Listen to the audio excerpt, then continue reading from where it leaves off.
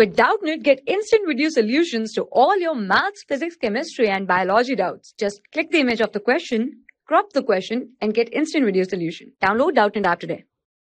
Hi, the question is calculate the heat absorbed by a system in going through a cyclic process as shown in the figure. So we are given a PV graph and we need to find the heat absorbed by the system. Alright, so before we solve this question, let us first discuss some key concepts that we need to know to solve this question. Okay, so the first concept is actually first law of thermodynamics. First law of thermodynamics which says heat absorbed by the system is equals to change in internal energy of the system plus the work done by the system. Alright, the second concept is that in a cyclic process so in a cyclic process the change in internal energy of the system is zero because internal energy only depends on the initial and final position. And in a cyclic process initial and final positions are same. So the change of internal energy would be zero. All right?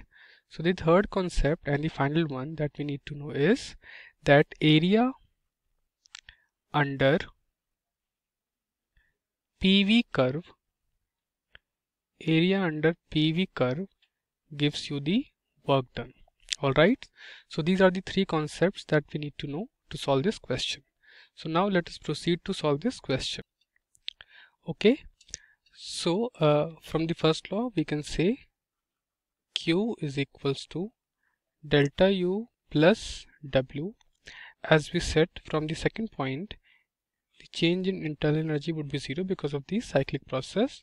So we will have q equals w. That is the heat absorbed is equals to the work done by the system. Now to find the work done we need to find the area under the PV curve. Okay? So now let us try to find that. So the PV curve is actually a circle. This is the circle. And let's say it has some radius r.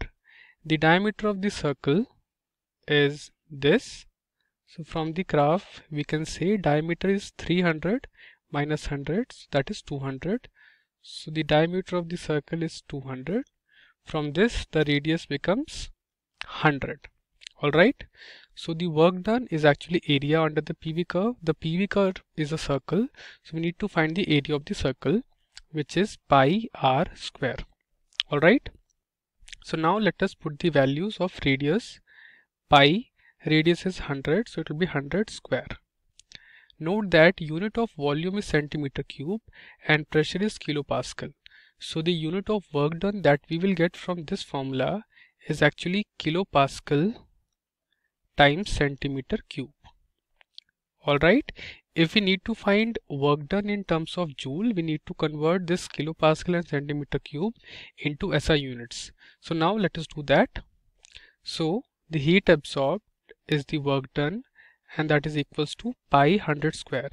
Pi would be 3.14 100 square would be 10 to the power 4 kilopascal in terms of pascal would be 10 to the power 3 pascals and centimeter cube in terms of meter cube would become 10 to the power minus 6 alright so now this is in pascal meter cube. Okay? And pascal meter cube is actually joules okay so pascal meter cube would become joule so now we have q equals so on solving this entire equation we'll get 3.14 into 10 joules Alright, so I can also write Q as 31.4 joules. Okay, so this concludes our solution.